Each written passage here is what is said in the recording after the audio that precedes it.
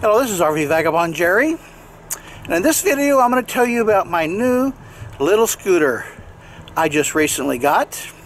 Now, as you may know, I do not have a tow car. I don't tow anything, but I do have three vehicles. I have my motorhome, and my big scooter, and my little scooter. Now, my big scooter there, I keep on this trailer hitch rack. And I drive it when I'm in a place where I don't want to drive my motorhome around to do and see things. It's a 200cc scooter and on a straightaway I can get it up to about 80 miles an hour. But on this video I want to talk about this guy, my little scooter. I just recently got this one. I had another little scooter that I rode for a couple years and there's things I liked about it, things I didn't like about it and it finally broke down one day. I left it out in the rain is what happened and somehow that messed up the electronics and I never could get it going again. And I was wanting to get a new scooter anyway. So I found this one which I really like. I like it a lot more than the old scooter but there are three things about it that I don't like that I will tell you about. So first let me tell you why I have this scooter. I have it because there are times and places where I need to go a long way, sometimes all day long. And at this age, I don't really have the energy to be walking around all day long. For example, when I went to Disney World in Florida, I took my little scooter with me and rather than walking around the park all day long, I had this scooter to go around with and also it always gave me a place to sit down. If you're just walking around a park or something all day long, then sometimes it's hard to find a place to sit down. But with this, I've always got a seat. And then sometimes I may need to go somewhere that's one or two or three or four miles and I just don't want to walk that far.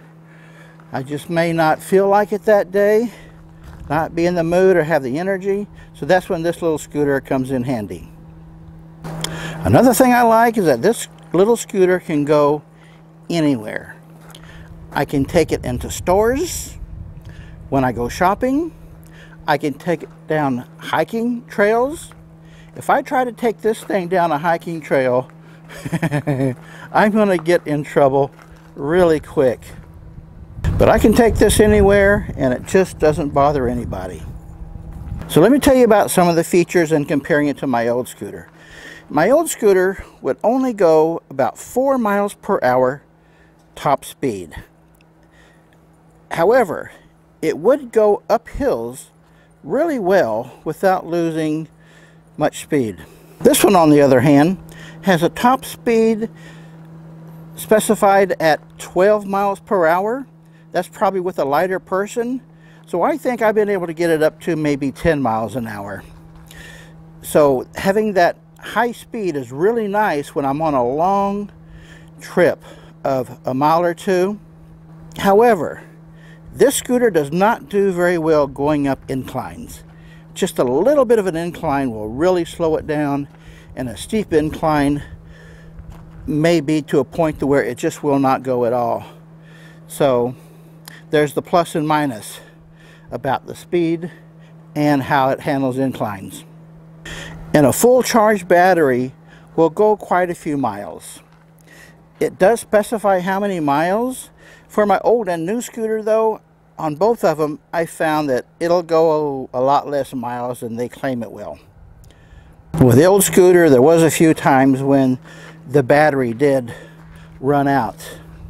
But if the battery does run out, all you got to do is pick it up here and then you can easily pull it to get back to where you need to go. Both of my scooters had a key so someone can't just run off with it and then expect it to, to go. they would have to bypass the key ignition. It has a cup holder, it has a horn, it has a light. And one thing I like about this one is that I can turn the light on and off. With the other scooter, the light was always on, using up battery power.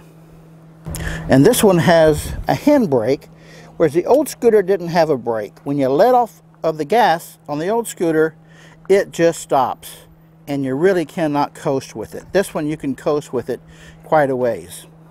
I like the throttle on this one a lot more. The throttle is just by turning this.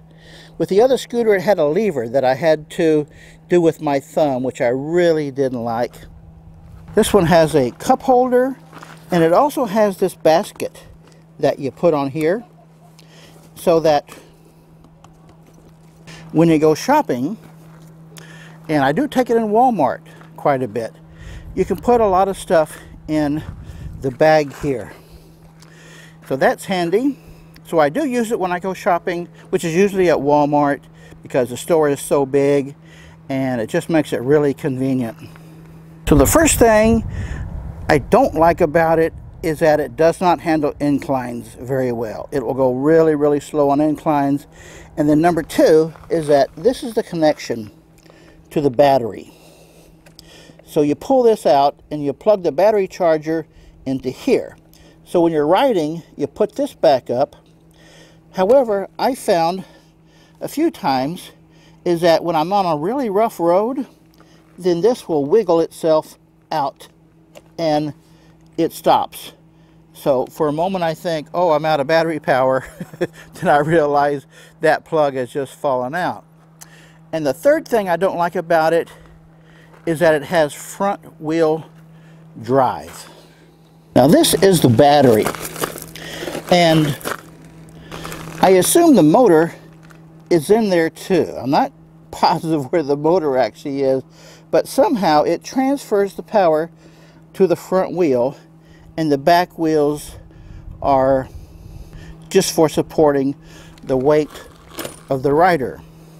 And the problem with that is the front wheel has the least amount of weight on it and therefore the least amount of traction. Let me show you what I mean. So when I get started, then the wheel, if it's on gravel like this, then the wheel will just spin until it finally takes off. Now on pavement, a hard surface like this, it works just fine. It goes really fast.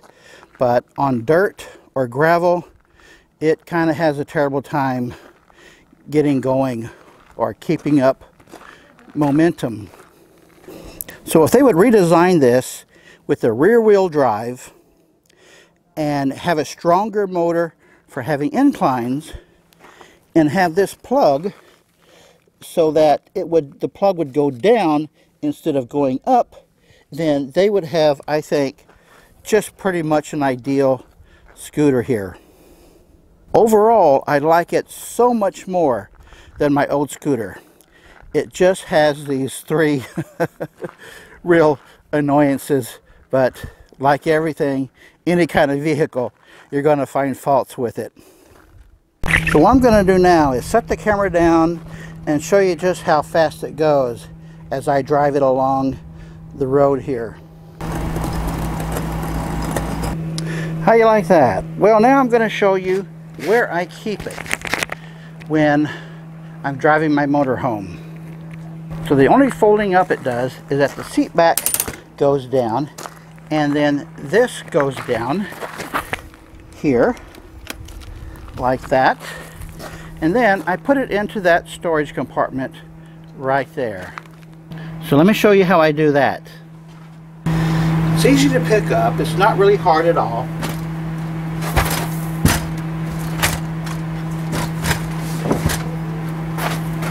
That's all there is to it. So it conveniently fits in here.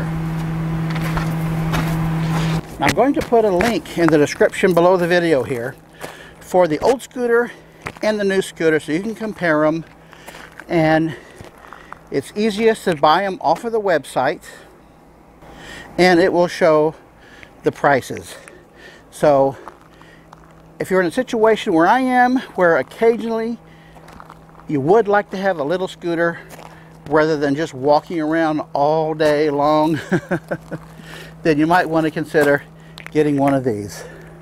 Good day, folks.